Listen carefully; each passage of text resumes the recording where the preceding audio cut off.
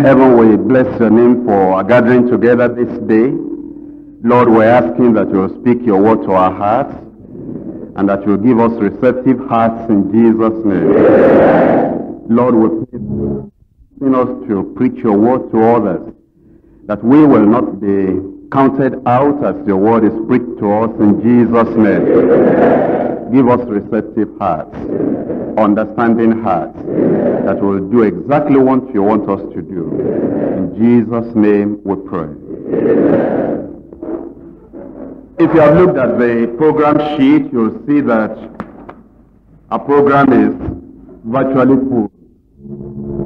We are Spending such a short period of time together, it will be very necessary that you are in for all the sessions. We do not expect that any of our pastors, workers, or leaders that have come here would go to the town um, anytime on your own without the time, apart from the time that all of us are going out together. You've come here for a purpose, and we want that purpose to be fulfilled.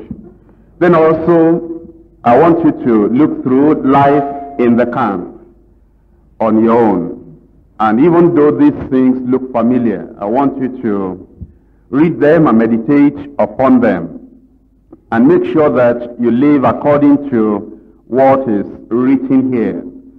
The problem that we generally have in many churches is that ministers or preachers do not actually obey the word of God.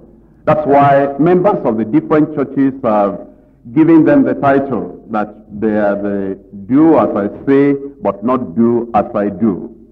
And if we're not careful, the same tendency will come into the church here. That these things are written down. You could explain them to people at the retreat ground. But then you might find that you are not able to do them yourself. So go through on your own and make sure that you are living by them.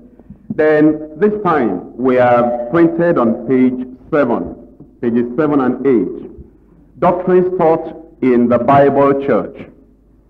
We didn't say deeper life doctrines, but doctrines of the Bible for churches that want to pattern their lives, their doctrines, and their steps according to the Bible, the Word of God.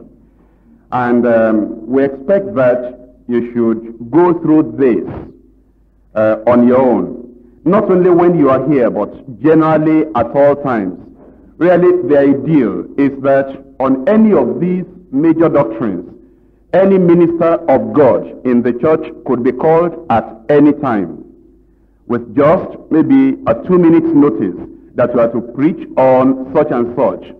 And you should be so conversant with the doctrines of the Bible, the major cardinal doctrines, that you shouldn't be wondering, what do I say on the great um, tribulation? Or what am I going to say on the millennial reign? These things should have been so much in you that you will have studied and known all these things um, on your own. This morning, we're dealing with holiness and heaven. I'm reading from Psalm 15. Psalm 15, verse 1 to verse 5. Lord, who shall abide in thy tabernacle? Who shall dwell in thy holy hill? He that walketh uprightly, and walketh righteousness, and speaketh the truth in his heart.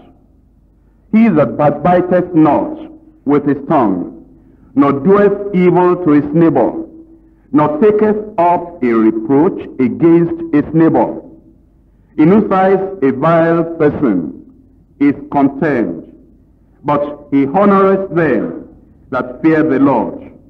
He sweareth to his own heart, and changeth not. He putteth not out his money to usury, nor taketh reward against the innocent. He that doeth these things shall never be moved. Psalm 24, verses 3 and 4.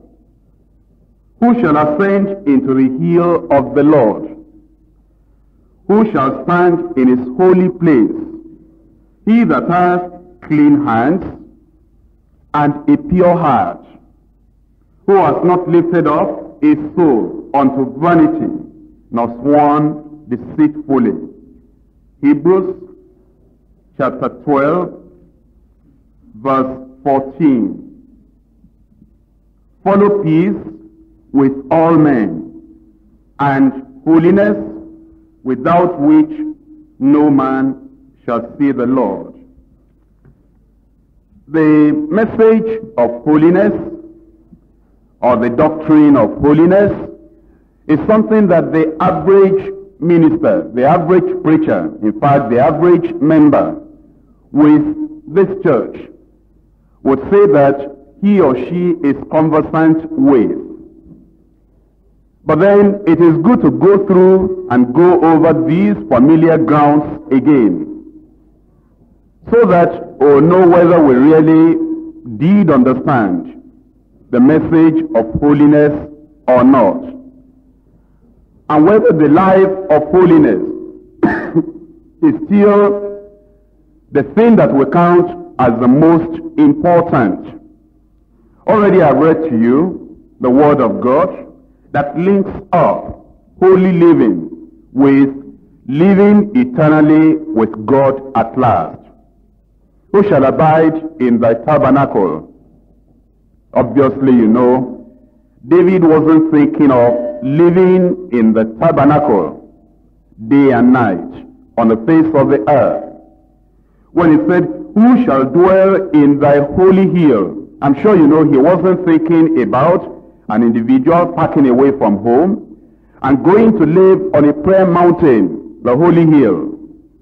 He was talking about the people that will eternally live with God eventually. And even though he was a king, and he had been respected by the nation Israel, not only that, other nations that had warred against Israel had recognized his name, had known him as a king. So talk about having position, a kingly position that he had a political position that he had in his own nation. Now, you know, it's not easy for an individual to arrange so long, seven and a half years in Jerusalem and Judah, and then eventually about 33 years all over Israel, bringing it to a total of 40 years reigning. Even in Bible days, there were a few, just a few, that had that long period of time reigning over Israel. And of course, all the others did not have the recognition, the respect, the authority that David had. And for such a man to think about heaven, to feel all these things that I have got, the riches, the position, the power, the authority, will not amount to anything if I eventually miss heaven. And that's the way we ought to be thinking. Because possessions of the world are deceptive. In fact, somebody was talking to me, an American, and he was saying that he's looking for the time he'll have opportunity of inviting me to his church so that I could minister in his church. Then he said, when you come, you'll not only minister, I'll take you around. And you will find out why it may be difficult for me to die. That he once told God, he said, God, this heaven we're talking about, I hope it's better than where I live now. And this is a minister who has been preaching for more than 28 years, Pentecostal. And yet he himself confessed that if I came over, I might discover why it would be difficult for him to die. And that when he prayed, he had asked God if heaven would be better than where he was. Now, think about that. That sometimes we may become preachers, and the positions we have, the property that we have, the privileges that we have, the recognition of people around us that we have may replace the desire to get to heaven. But think about whatever you have on earth. We're talking about David. in a position of authority for only 40 years. Even if you are there for 70 years. 70 years is something very, very small, intangible, inconsequential when you think about eternity. So a minister of God, a child of God should be thinking about eternity. That eventually the scroll will be rolled up. Eventually time will come to an end for me and for you and for other people. And eventually we'll be faced with the question whether or not we're prepared to meet our God. And as you listen to preachers of past generations, good preachers, Martin Luther, at his own time, the position that he had in the church. You know, he would never perhaps have thought, if he was like the generality of people, that time will end. Think about people like John Wesley. Think about people like Spurgeon. Think about people like Charles G. Finney. They did so much. In fact, reading about their the memoirs of uh, their activities, their diaries, you would think um, they would never stop activity because life was too full for them of activities. But activities are deceptive. And we who are preachers uh, sometimes see the deception of activity, especially religious activity, that we get so busy that to eat may be difficult. To sleep may be something that uh, we do it but then it's inconvenient because we think there is so much we do. And our whole system has got adjusted to activities and programs and preaching and counseling and praying that we just feel that that is life. But man's life does not consist in the abundance of things that he possesses, not only money. All the things that fill our lives that's not life. So then, we should still be thinking about heaven. Heaven and holiness. The opposite, I could have said, hypocrisy and hell. On the one side, you have holiness, then you know that the end result is heaven. But on the other side, you have hypocrisy. You know the end result is hell. Now, Lord, who shall abide in thy tabernacle? Who shall dwell in thy holy hill? And then he goes on in verses 2, 3, 4, and 5 to say the people that have holiness. Now, what is holiness? Many times I've seen some of our preachers mention that word holiness, holiness so much. But then you begin to think, if we do not have a clear definition of holiness in our minds, in our understanding, we will not know when we have it. We will not know when we lose it. If you do not know the significance of, of a thing, or the meaning, the interpretation, the definition of that thing, just say, without holiness no man shall see the Lord. Without holiness no man shall see the Lord. What is holiness? If you do not know what holiness is, how would you know when you have got it? And um, if you do not know what it is, if you got it before, how would you know when you have lost it? And you might just be going by the title that you are a holiness preacher without knowing the definition of that word holiness. And because you don't know it, you might be preaching it without possessing it. What then is holiness? Number one, holiness is simply godliness. It's the totality of the attributes of God in a child of God. It's the image of God expressly seen and manifested in man. And when I see that the attributes of God is faithfulness, is goodness, is kindness, is very life, is duplicated, if you like, in me. When those attributes are manifest, are seen very clearly and very plainly in my life, then that means there is holiness in my life. Holiness is godliness. In 1 Peter chapter 1, verses 15 and 16. But as he which has called you is holy, as he, as he which has called you is holy, so be ye holy in all manner of conversation. Because it is written, Be ye holy, for I am holy. So then, if you are wondering in your mind, if I have this, how will I know? If I don't have it, how will I know? Simple. If you are like God, you are holy. If you are not like God, you are unholy. Well, to bring it still nearer, holiness is Christ-likeness. Not similar to the first definition, but then Jesus Christ came to live here. He interacted with people like we have to interact with people. He worked like we have to work. He preached a lot.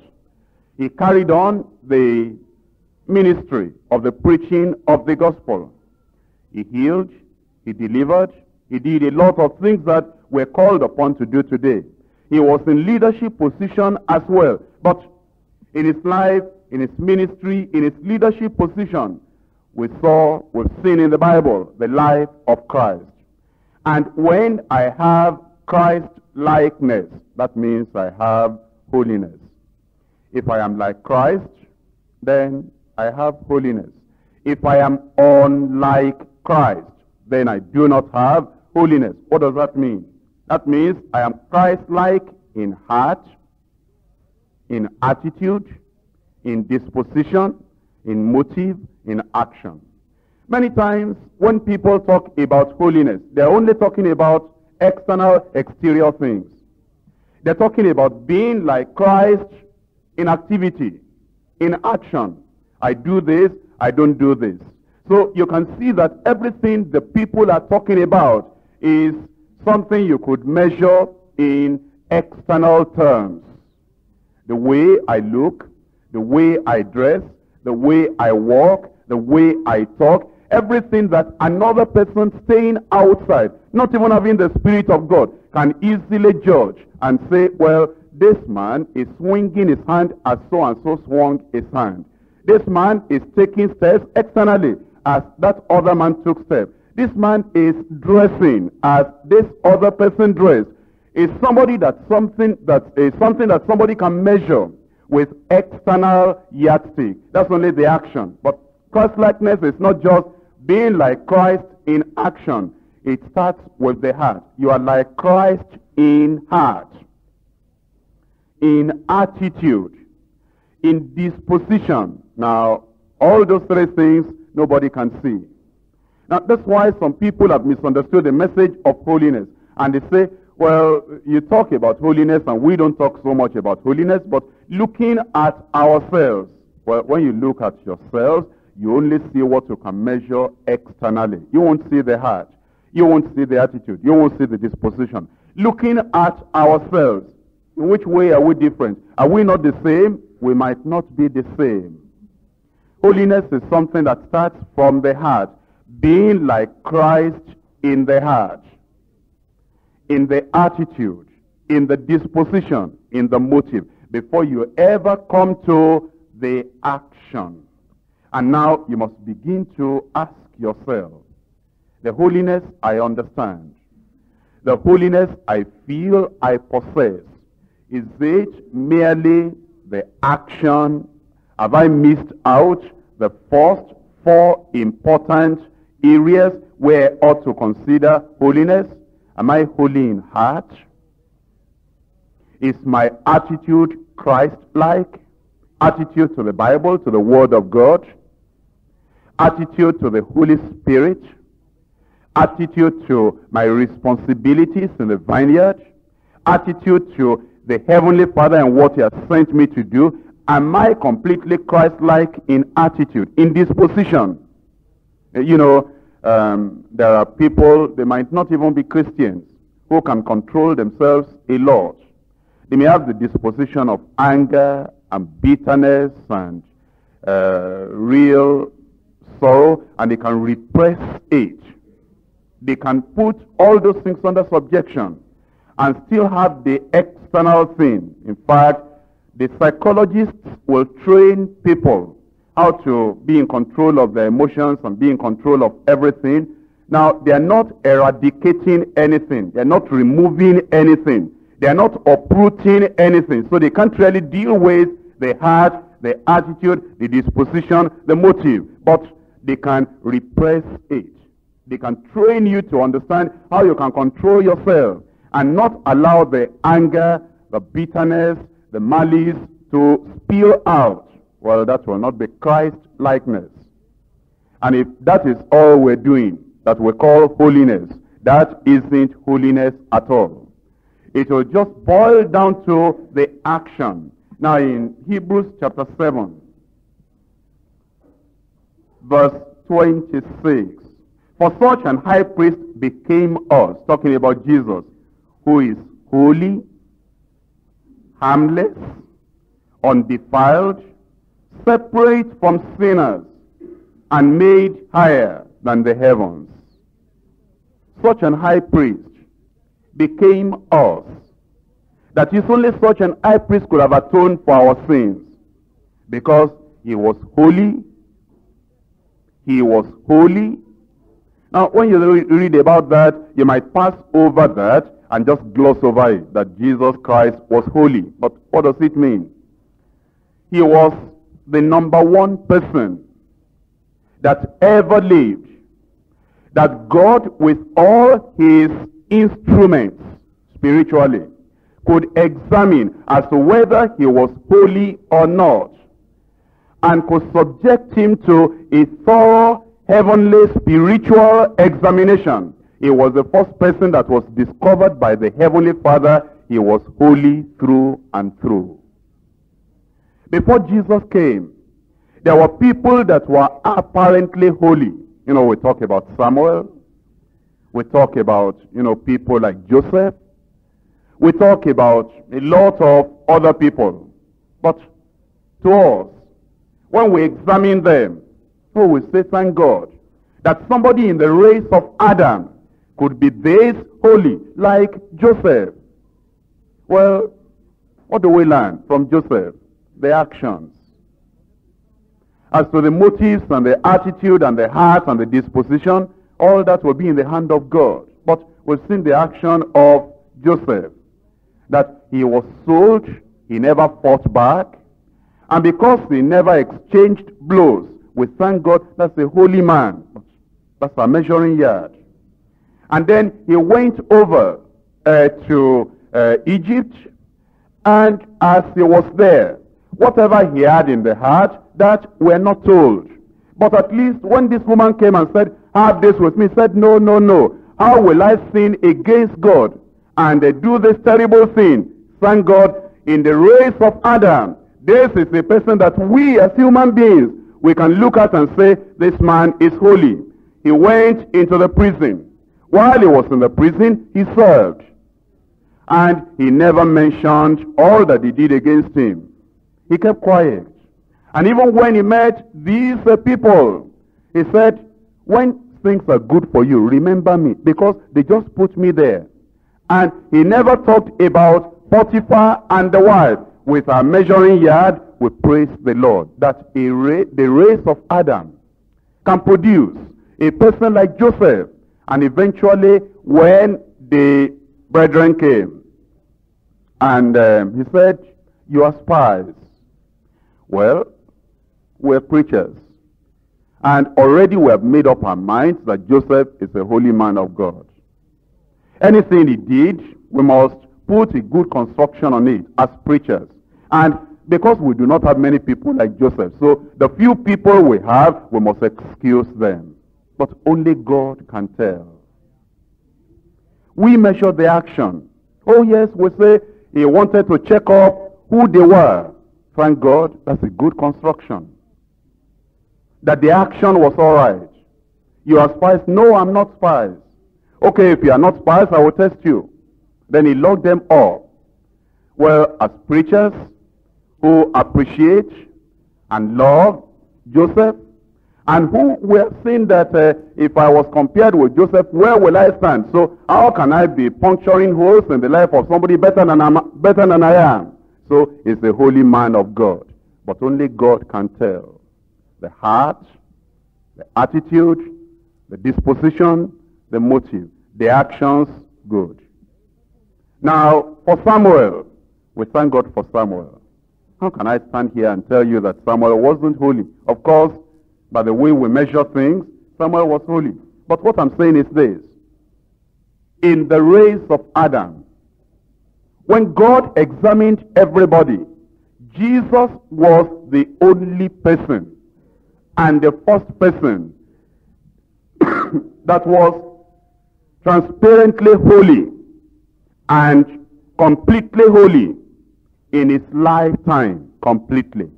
Whether in the wilderness or in the home or in the synagogue or on the mountaintop or on the street, even when he achieved, um, you know, great, um, a great name, great prophet, we knew that he would not have had pride.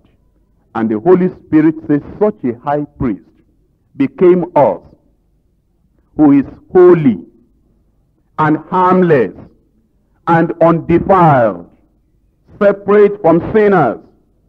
You know, with our own measuring yard, we will not say that Jesus was separate from sinners. Because uh, he ate with them.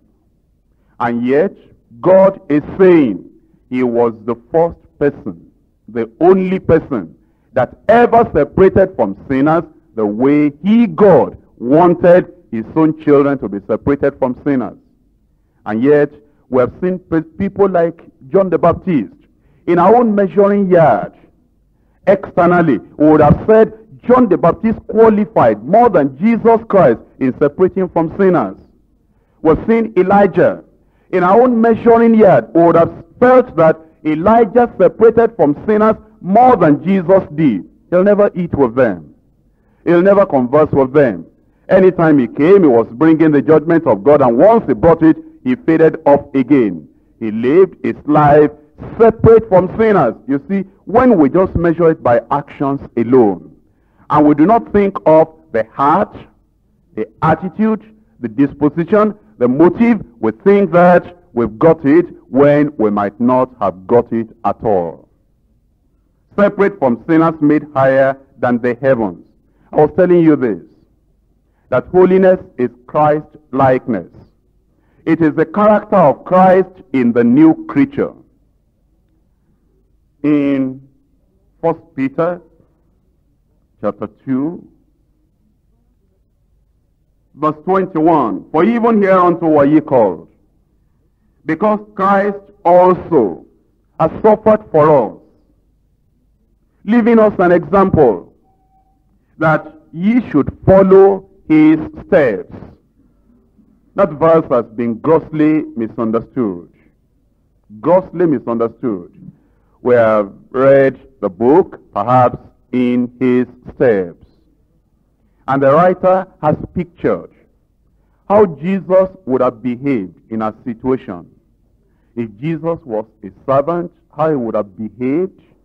If Jesus was a nurse, how he would have behaved. If Jesus were in our situation, in our profession, if Jesus were to live the life we live today, how he would have behaved. And the author of that book has given us the external actions of Jesus Christ. That, look, Jesus Christ would have walked like this, moved like this, slept like this, prayed like this, done this. All that you can measure in external outward actions. And, you know, the song we sing, uh, we say, I have decided to follow Jesus. No turning back, no turning back. I have decided to dress like Jesus. No turning back, no turning back. I have decided to pray like Jesus, to heal like Jesus, to sleep like Jesus, to talk like Jesus. Have you noticed that that song is just action? Action part. That you pray, Just make sure that your action relates with the action of Jesus Christ. You eat, you dress, you sleep, you walk, you talk, everything, external action. It says nothing about the heart of Jesus, the attitude of Jesus, the disposition deep, deep down within of Jesus Christ, nor the motives of Jesus Christ. How can we measure that? How can we think about that? All we know is that once I am externally like Jesus, I am holy. And we might be the most unholy creatures on the face of the earth. Eating like Jesus. Fasting like Jesus. Praying like Jesus. Being quiet like Jesus. Just, you know, walking very quietly.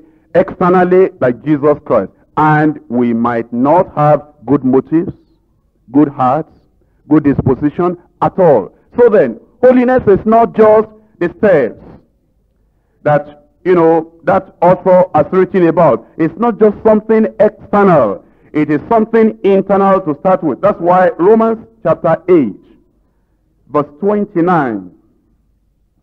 Romans chapter 8, verse 29 says, He whom he did foreknow, he also did predestinate to be conformed to the image of his son. Now this goes beyond his steps. Not just in his steps, but having the very image. So that we are conformed to the image of his son, that he might be the firstborn among many brethren. Of course, if we are conformed to the image of his son internally, then we'll be conformed to the life of the Son outwardly. First John chapter 2, verse 6. He that says he abideth in him ought himself also so to walk, even as he walked. But the first point is abiding in him. Not just um, coming and copying Jesus Christ. The way he taught, the way he lived, the way he dressed, the way he did this, the way he did that. So then, what is Christ likeness? We've seen in the Bible that the character of Jesus Christ uh, can be explained with these words. Number one, he was righteous. And I didn't say he was self-righteous.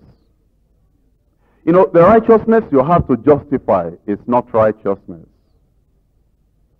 The white garment, I have to argue and debate upon that. Look, this garment is white. That garment really is not white. If I have to debate about it, if I have to explain it, if I have to uh, defend the whiteness of that cloth, that cloth is not white enough. When it is white enough, it doesn't need a professor from the university to come and tell us it is white.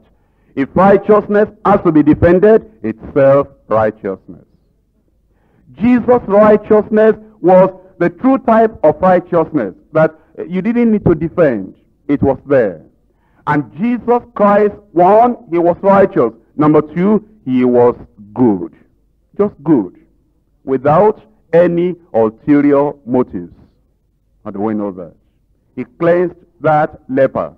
And he said, don't you tell any man. Go and tell them only at the uh, synagogue. Go and tell the priests. He was to heal a blind man. He drew him out of the city and then he healed his eyes and then he said, go back. Uh, don't go back to those people, but go to another place. Don't tell them anything. And um, he fed the hungry. And then at the pool of Bethesda, when that impotent man was there, he got in there and he healed that man of 38 years of infirmity. After that, he went away. That man carried his bed, and the Jews said, Who told you to carry your bed? He said, The man that healed me. What's his name? He didn't tell me. You can see the motive of Jesus Christ in doing good. He wasn't doing it to gain anything. He just did good. That's being good. That's what we call holiness. It's not just the action, it is what is behind the action that makes that action to be holiness. Now you begin to understand that a sinner can give out money to the beggars. Somebody who is born again can give out money to the beggars. Somebody who is sanctified can give money to the beggars. Somebody who is dying now and has seen the angels coming to take him home can say, you beggars, now I'm going home, take money. Now all of the four people are giving money to the beggars, but you can see the, the differences in their hearts. The sinner is giving it out. The saved man is giving it out. The sanctified is giving it out. Now the man that knows that I'm going out, these are angels waiting for me to carry me home, is giving money to the beggars. They're, they're all different. It's not the action, it's what behind the action that we call holiness. Jesus Christ was holy. He was righteous.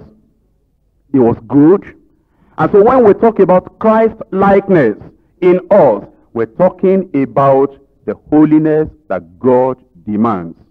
Righteous, good, compassionate. Well, Jesus didn't weep every time. He wept at Lazarus' grave. Many people don't know why he wept. So it's no, it's no use debating the issue on that case. But he was more compassionate than all the people that have lived in the world before he came who wept every day for everything that happened to other people. It is not weeping that we call being compassionate.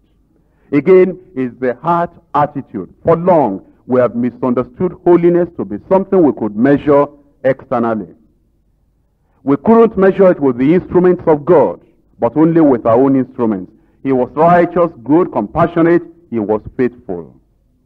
Faithful to God, his Father. He lived under the concept and the principle, my Father who sent me is always with me. He's looking at what I do.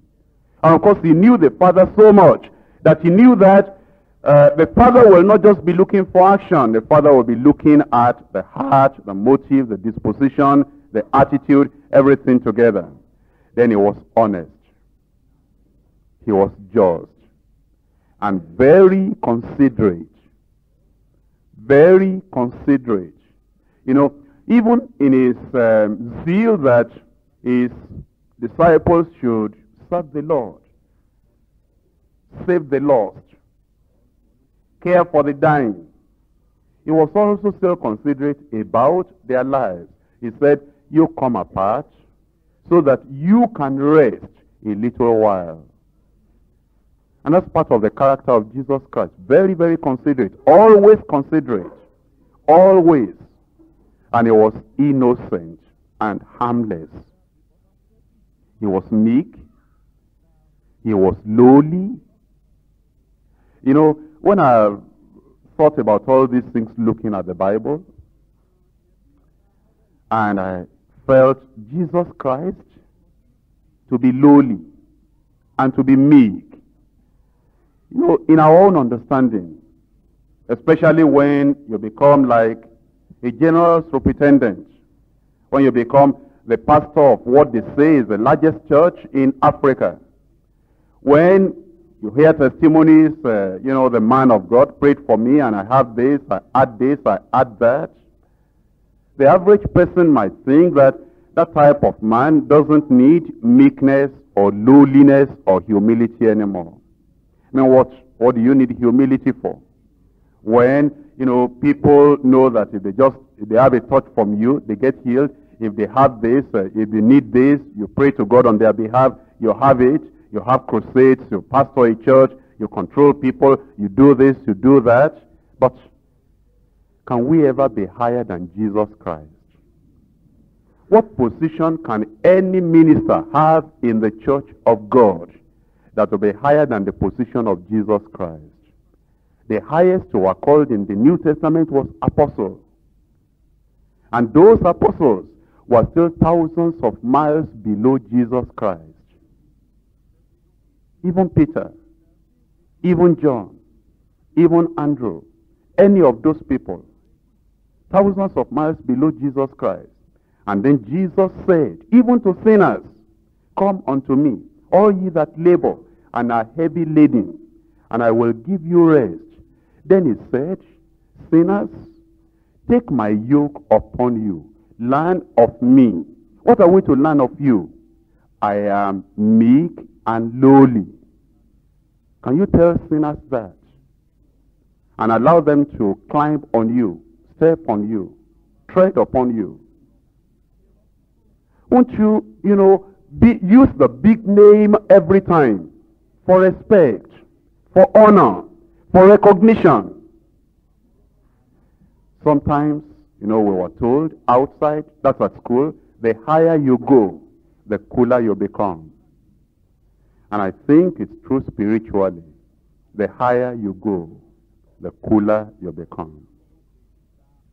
The less humble you become. The less holy you become. The less lowly you become. Because we think that now I'm apostle, now I am general superintendent, now I'm sorry, state reps, now I'm state representative. You know, we, we get offended.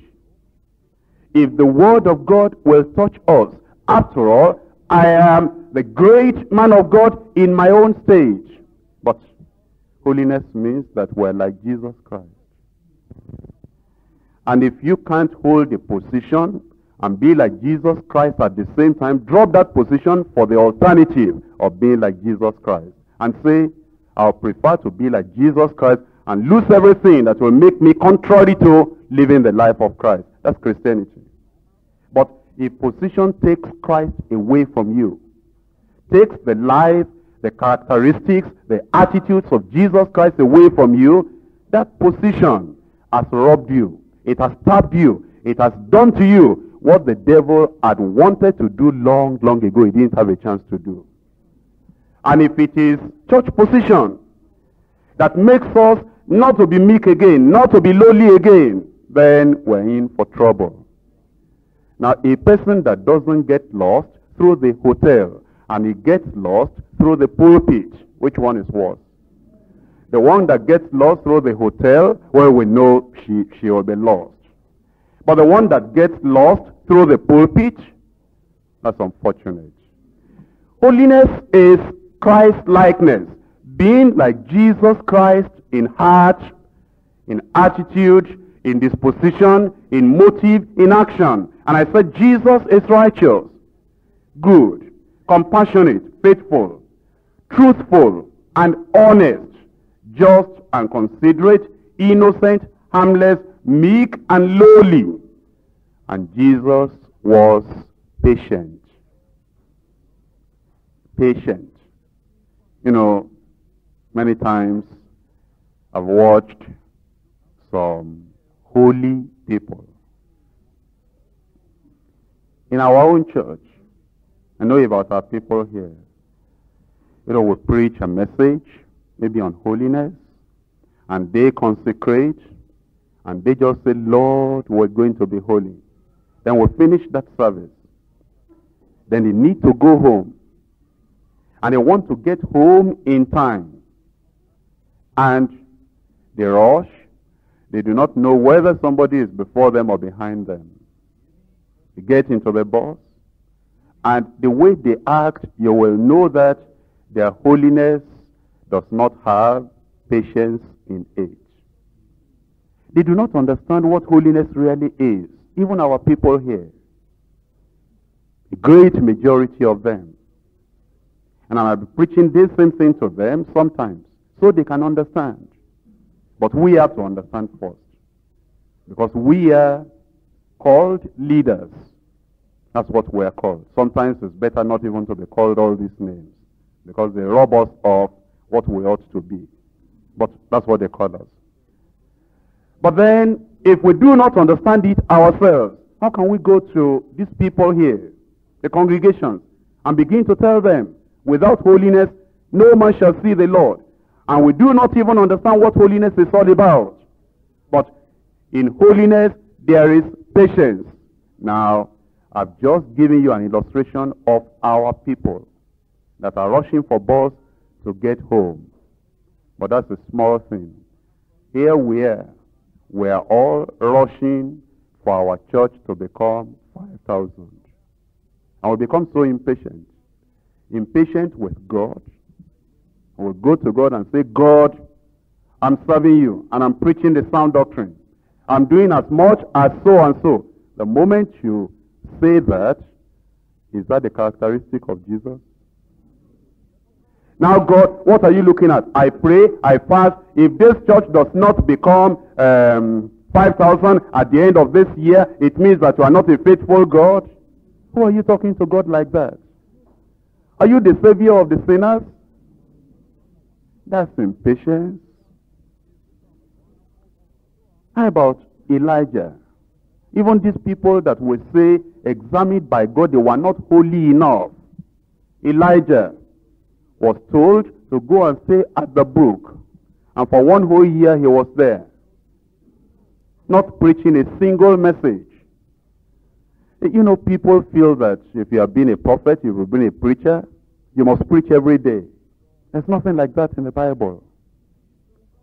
In fact, it's likely that if you are preaching every day, and if it's not the will of God, you'll dry up faster than the tree that is cut down. You won't have any sap in you. But there are people that just like activities. You know, just preach and preach. And that man was just patient there, Elijah. Then when the brook dried up, sent him to the house of a widow. He stayed in the house of that widow. And then some other years passed by again. Think about that. But many of us, right now, God, don't bring your name to shame. I want to pray for the blind, and they must see. Why must they see? Give the reason why they must see. Well, because so that people will know you have raised me up. There you are. That's your reason why blind eyes must be open. So that people will see that this church is a special church. There you are. That's your reason. And so that our church members will see the result of my fasting all these days. There were. Not because of doing good to that man that was blind. Not because God will take the glory. And you know that when you pray for the blind and their eyes are not open, you know you feel hurt. You feel depressed. 1,000 people might come forth to receive the Lord as their personal Savior. With one mouth or with one corner of your mouth, you say, Salvation is the greatest miracle. And 1,000 have come and they have got the greatest miracle. And because two blind people were there that were not healed, you're offended. Offended at God. Is it your work? What's your problem? And you'll even abuse God. God, what are you looking at? Is he your mate? What is he looking at? Are you the creator of that blind man? What's happening to you? And we're impatient. But we say we are holy. Jesus was patient. How about getting married? Holiness preachers? How about in our homes, between husband and wife? You know, holiness preachers? The food has not come yet, and we storm into the kitchen. Say, what are you looking at? What are you doing? This is what I've been telling you. And um, I don't want to get angry.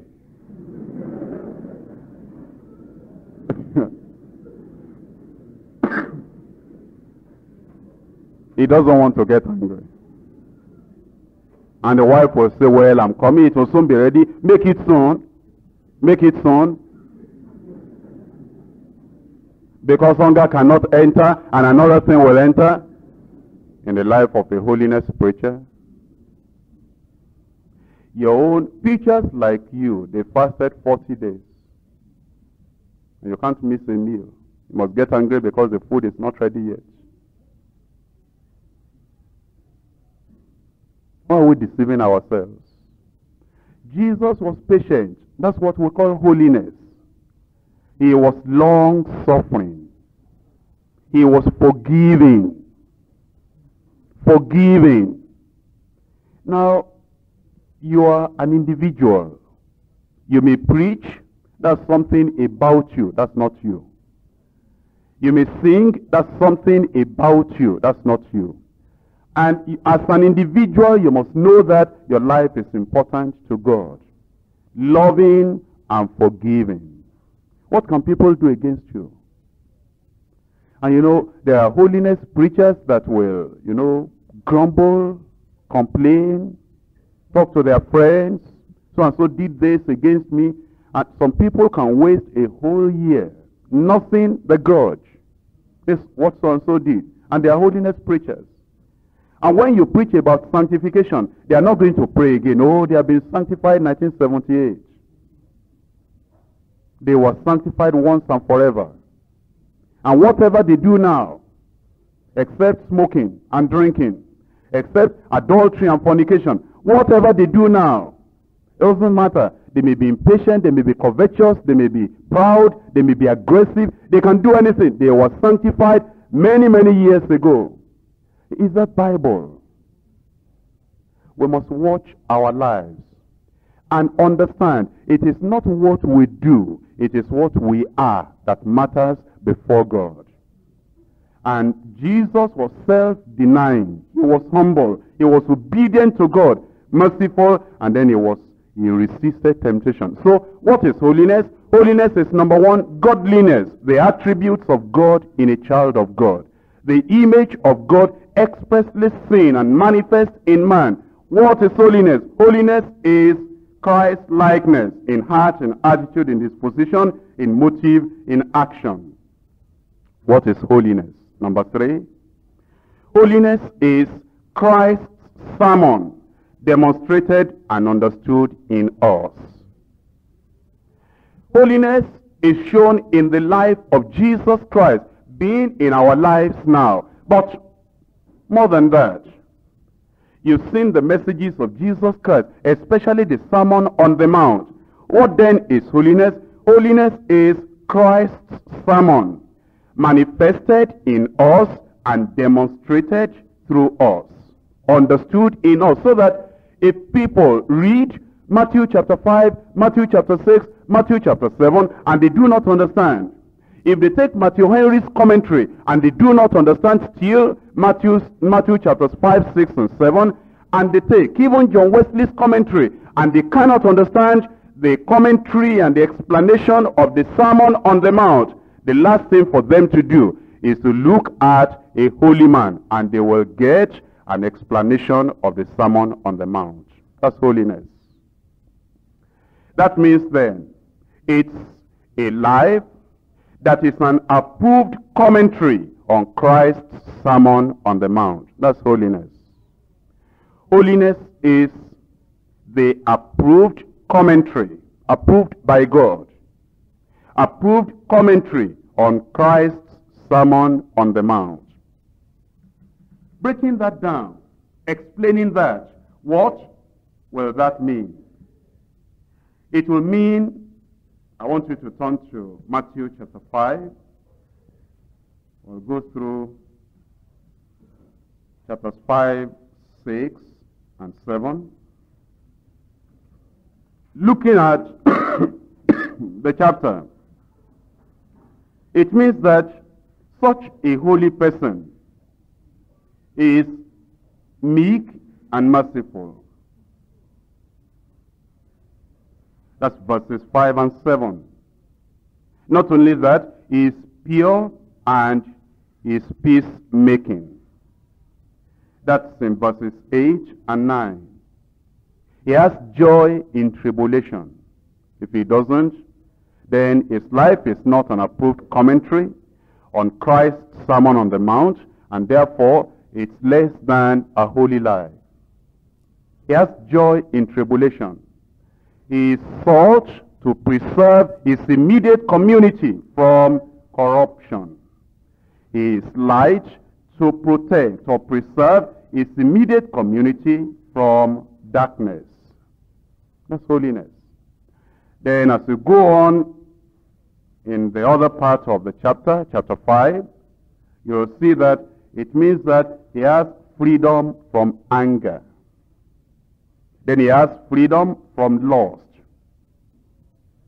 Then he's free from any attitude or spirit of retaliation. Then he is free from deceit. In his heart, he never has an intention, a disposition, an attitude to deceive. His yes is coming out of the depth of his heart, and in the bottom, the deepest part of his heart, it is yes. And he has yes deep within before the mouth will verbalize the word yes. His yes is truly yes.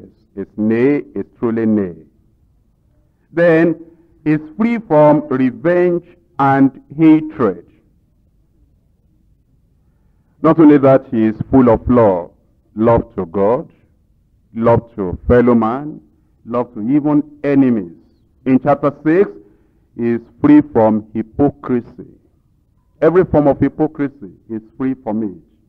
Chapter 6 is free from covetousness. And in chapter 6, the man that is holy is free from worry and anxiety. Is free from the fear of future. And if you've read White, you've read of holiness people, so-called, that's just the name. And that's the name they enjoy, you call them with. That's their own denominational pride, that they are holiness people. You've read of holiness people that have worry and anxiety. They worry about tomorrow. They worry about the future. They are afraid of what will happen to them tomorrow. What will happen to even their children not yet born. They are worried about everything. And yet, they'll talk about being holy. No. Holiness is Christ's sermon. Demonstrated, manifested, and also understood and seen in us. And if that is so, it means that the one that has the holiness experience doesn't have worry and anxiety. Have you found some people that say they believe in holiness and they, they went out? While they are coming back, they didn't uh, see the wife at home. Maybe the wife just uh, discovered uh, after he went out that there was no salt or there was no pepper or no oil and said, before my husband comes, let me run to the market there and get this thing. And then he was around, holiness preacher. And uh, before the wife came, just about 10 minutes, he's been wondering what happened. Ah, so this is how this woman goes out. There must be some men in her life. Maybe she's going to do this, she's going to, she's going to do that. She's afraid she's going to lose that wife. And then uh, the wife uh, came back with uh, some groceries in hand and uh, will say, where are you coming from? Ah, I just went to the... No, no, no. You just went to market to buy that thing to camouflage, to cover up. You went to another place. You must tell me. You must make restitution. No, sir, I didn't go anywhere. No, you went somewhere. The soul that sinneth shall die. afraid that the wife has gone to do something outside. Suspicion, worry, anxiety. And our minds are never with God wherever we are. We feel that those people must be doing this against me now. Those be doing something against me now. They must be planning this and this and that now. Your life is in fear. Worry and anxiety, that's not holiness. It's not holiness at all. If we talk about holiness, we're talking about the Sermon on the Mount. Seen very clearly in our lives. And there will be no worry. There will be no anxiety. You ask the person, where are you coming from? I'm coming from the market. Okay, God bless you. I didn't know you went to the market. Suppose they went to another place. Fine. I won't take her to heaven when I die. I'll go and she'll go on her own. If she told the lies between her and God, I'm not God, you can lie to me if you want to.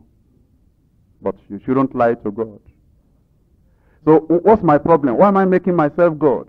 And I must find out this person is lying to me. Okay, suppose he's lying to me. What does that do? That's between him and God. That's between her and God. When he hears the word of God, then he'll make right his life with God.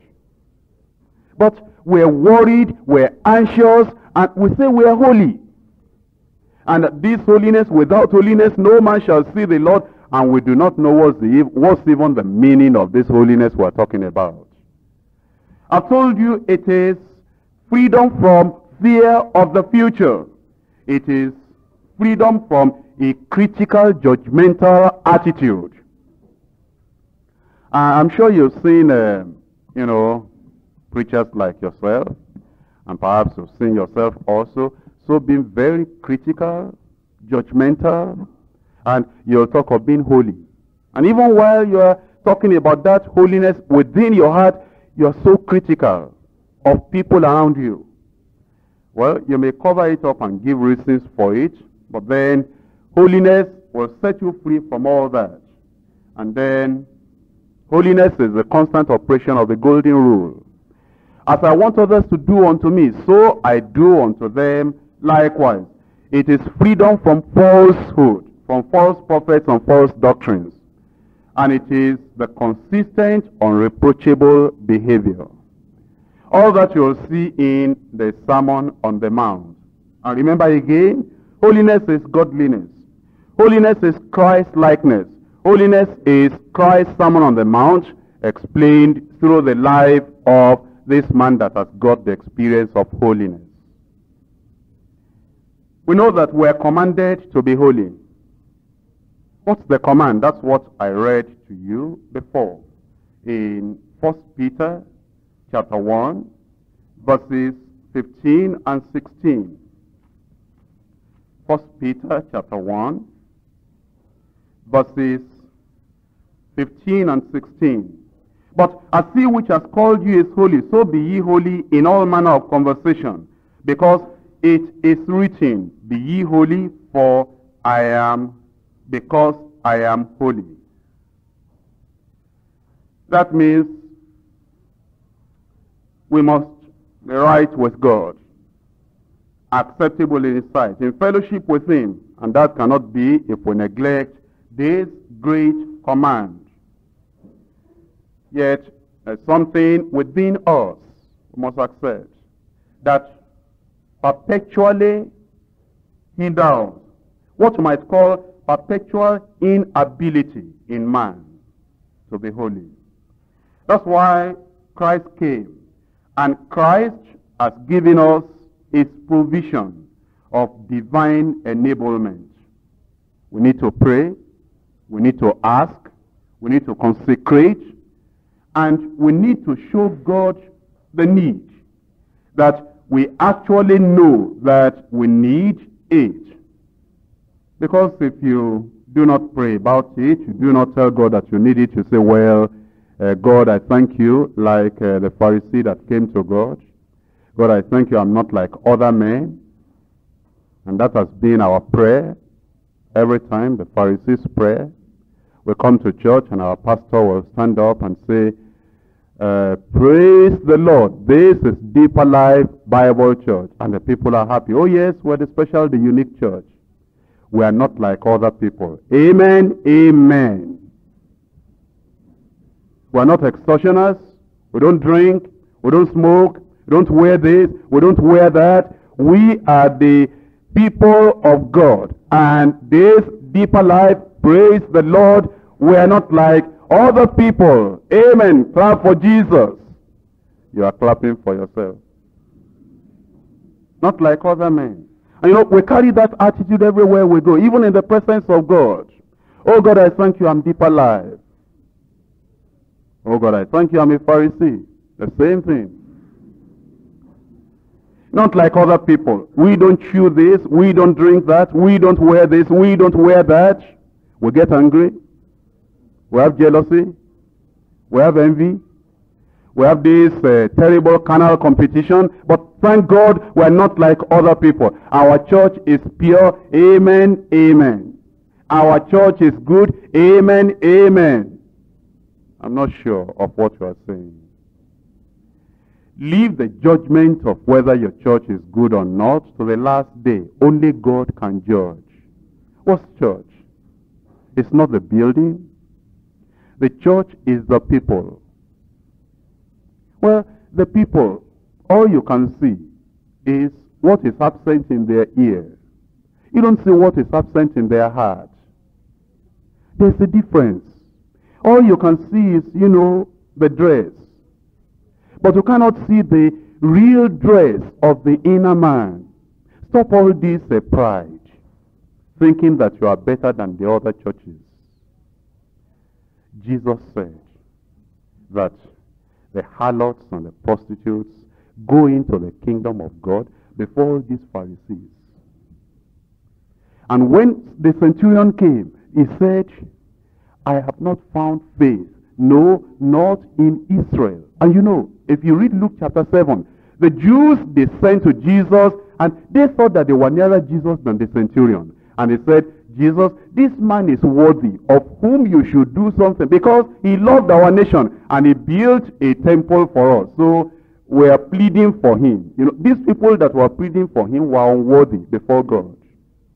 And he said, you people that are pleading, I tell you, the people will come from the east and the west and the south, and they will get into the kingdom. And you children of the kingdom will be cast into outer darkness.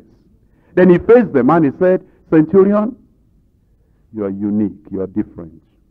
Even among all these people that you built temple for, I've not seen anybody like you. Go home. Be it unto you according to your faith. It might surprise you when we get to heaven. If we get there, that the Anglicans, some of them, not everybody, it's not everybody in the Anglican that will get to heaven, just like it's not everybody in deeper life that will get to heaven. I'm sure you know that that you will see Anglicans and Methodists and Baptists and Catholics and getting into the kingdom before deeper life people. And when they want to enter, there will be no question at all. Oh, child of God, just come in. And then when the deeper life person gets there, you will watch. Because we're going to be at the gate. And they look at him. You say, what's happening? When the Anglican was going on, they didn't question him. Just said, just, just moving, just moving, keep moving. But now I, I come in there, no jewelry and good dressing and, you know, all these things. And they're examining saying, should you get in? Should you not get in? Does grace cover all his, uh, you know, all his uh, carnality? Jesus, come and attend to your boy. And then eventually, maybe they say, okay, let him get in, but no reward. And then over there, there will be no pride of, uh, you know, I'm deeper life, I'm this and that. All that is human. All that is the gimmicks, the game, the religious game that we pay, play here to get crowd. You know, we're better than so and so. That's just the game. So, you know, get more people to sit down on Sunday morning. Just to sit down on Sunday morning. What happens to them while they're sitting down? You don't have any way of telling. That's just getting the crowd. But after the gimmicks are over, after the religious games are over, to now get to heaven. That's why we ought to check off. Christ has made the provision. He can make us holy if we want to. But if we tell God and we say, God, uh, regardless of what has been preached, I am holy enough. God will say, all right, since you are not like other men, you are all right, you are all right. But the other people that come, like the publicans saying, Lord, be merciful unto me. He didn't introduce himself. Lord, I am so and so. I have this, I have this, I have this, and then later say, God, uh, but I'm not good enough, even though uh, I thank you because I am this, I am this, I am this, but also cleanse me. You'll never be cleansed that way. And I'm sure, state reps, you don't mind my telling you this, I'm your leader. You don't go before God and say, God, I thank you. I'm a state representative. I preached in that place, I preached in that place, I preached in that place. Now my church that was just uh, 2,000 last year, we're now clocking 4,000. God, am I not doing well? And God, remember, I never went to seminary. And look at what I've done. And I didn't go to all these, uh, you know, crusades and things. And when I hold crusades now and blind eyes open, but uh, God, the holiness they talk about this. Oh, lest I forget. God, the people that were reaching out in our state, my, my. When we get to heaven, God, I have testimonies to give you. Things you don't know that I'm going to tell you what happened in our state. But uh, God, a preacher preached this morning and talked about holiness. Give it to me. Make me holy. You'll never get it.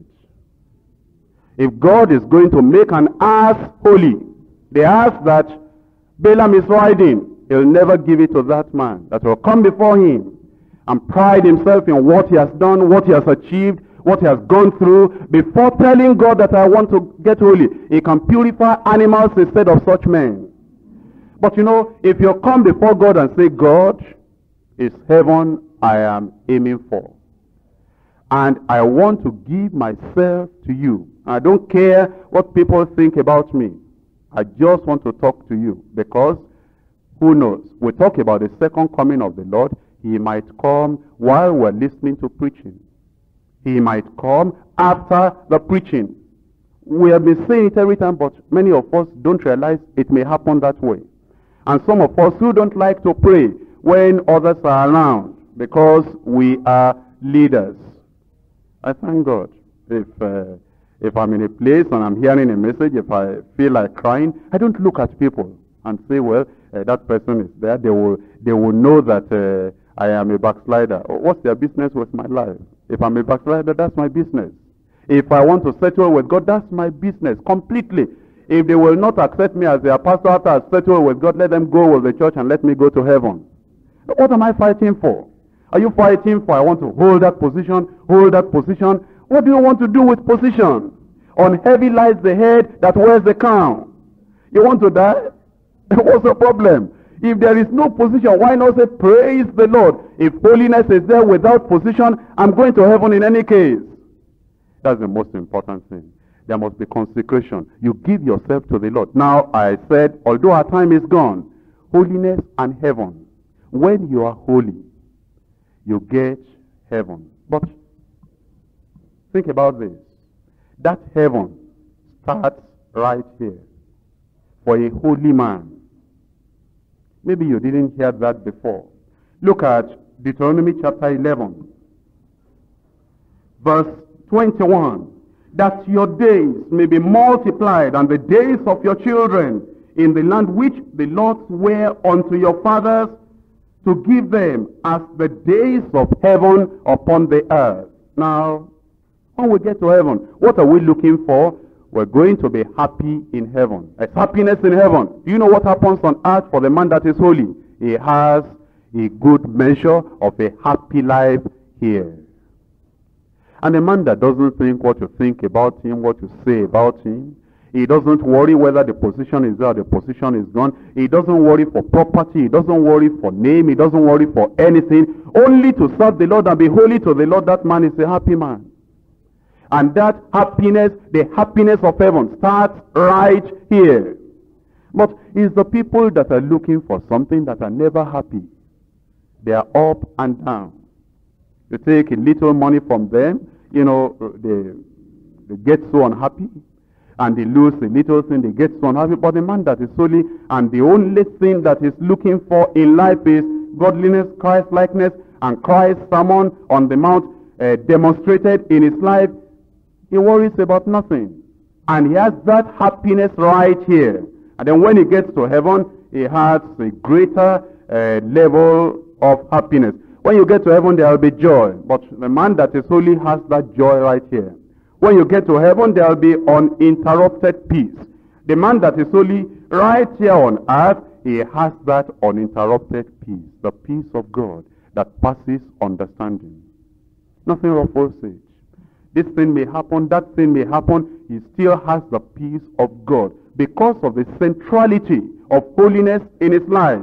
When you get to heaven, you'll be in the immediate presence of God. When you are holy today, the presence of God is given to you to favor you. When you get to heaven, there will be freedom from evil, freedom from oppression, freedom from Satan's dominion. And Satan fears to touch a really holy man. Think about it. Not the people that are making positive confessions. I see a lot of people going about saying, I'm a child of God, Satan cannot touch me. And you ask them very closely. The devil is tormenting them, will press them on the bed at night, and will do a lot of things. But the people that are really holy, and they are put on Christ, and they are wearing the garment of righteousness, within and without, they are holy, they are pure. They are right in the presence of God every time. When they begin to pray, the Lord is standing very close. Before they finish, He's giving them answers to their prayers. Because these are people that care nothing for us, nothing for anything that is carnal or worldly. All they want is the glory of God. God is nearer, Satan is farther away. When you get to heaven, there will be days freedom from evil, from oppression, from Satan's dominion. But if you are holy as you are right here. Now, I'm sure you, you are saying, I know many holiness people. I know many people are sanctified that are, you know, being oppressed of the devil. No, sir.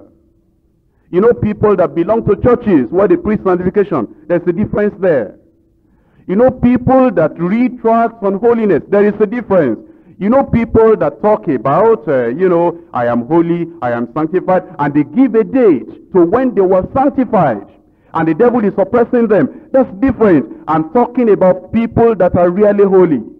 People that are holy. And when Satan looks at them, he sees Jesus in them. He doesn't see them. The devil can't touch them.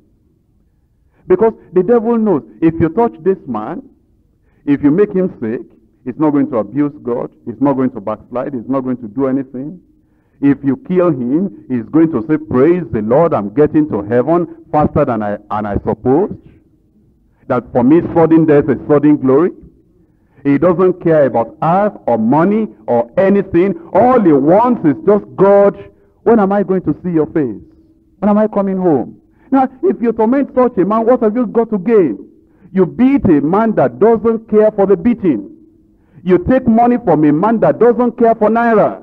Or you take a friend from a man that doesn't care for any friend except Jesus. Whom have I on earth except you? And in heaven except you. And when he gets to heaven, he's not looking for crown, he's not looking for gold, he's not looking for mansion, he's not looking for anything. Only to look at the face of Jesus and say thank you. And if he has to say thank you every day for eternity, he is happy. What, have you, what are you going to do to such a man? The devil cannot touch the man that is now having the life of Christ duplicated, demonstrated in him. And you know, when you get to heaven, this is what you are going to get. And you are getting it right here.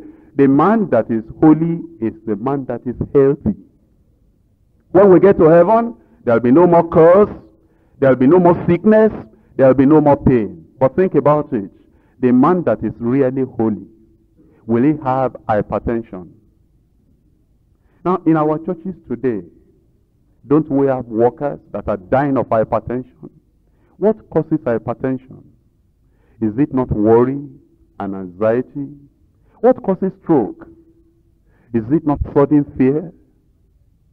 Now, if we are holy and there is no anger, no animosity, no bitterness, no hatred, no quarreling, no grudge, and, uh, you know, there is no comparison, and there is no shock, there is no fear, there is nothing, how is a man that is only going to have hypertension? A man that is not running for contracts, a man that is not going to say, well, I'm so disappointed, they didn't give me the contract, and I don't know what I've done. Oh God, I fasted. Oh God, I prayed. Oh God, what are you looking at? All these contracts I didn't get. A man that is not looking for contract, if he gets it, praise the Lord. If he doesn't get it, glory be to your holy name. How can a man like that have hypertension? But the people we say are holy, and we're getting hypertension, and we're getting stroke, and we're getting other problems, torments of the devil. Why? We should re-examine this holiness we're talking about. Because the prince of this world cometh, and he findeth nothing in me. What will he hold on to? So then, a man that is holy, when you get to heaven, there will be complete health. You'll be totally healthy. But here, you will be healthy. You don't smoke. You don't drink. A merry heart doeth good like medicine, always happy, always going about saying, Praise the Lord, praise the Lord. Any problem? No problem at all. You have any worry? No worry at all.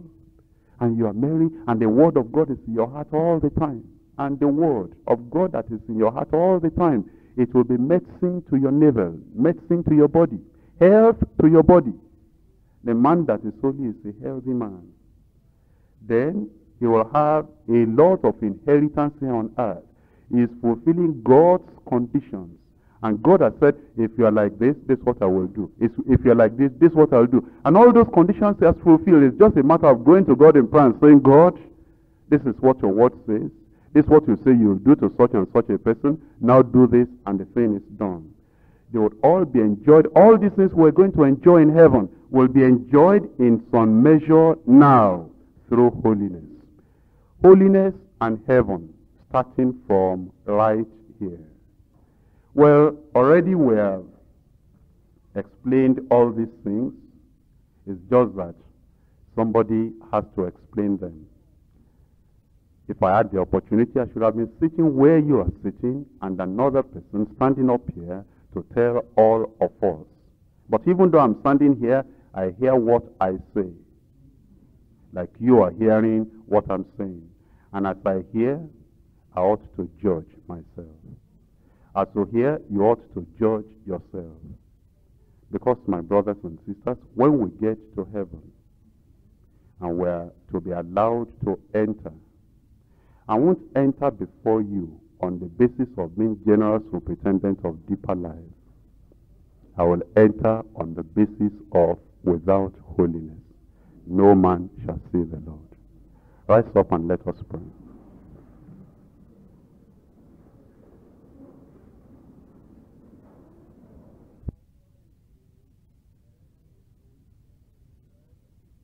Our Father, we come before the altar this morning that you might once again examine us thoroughly.